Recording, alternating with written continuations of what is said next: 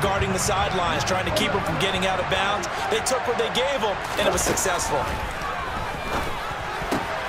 Oh, On a bad time late for a poor throw. It's intercepted. And I think he's going to go. They're not going to get him. The 40. The 20. And he takes this one back into the end zone. And the Patriot defense has a touchdown.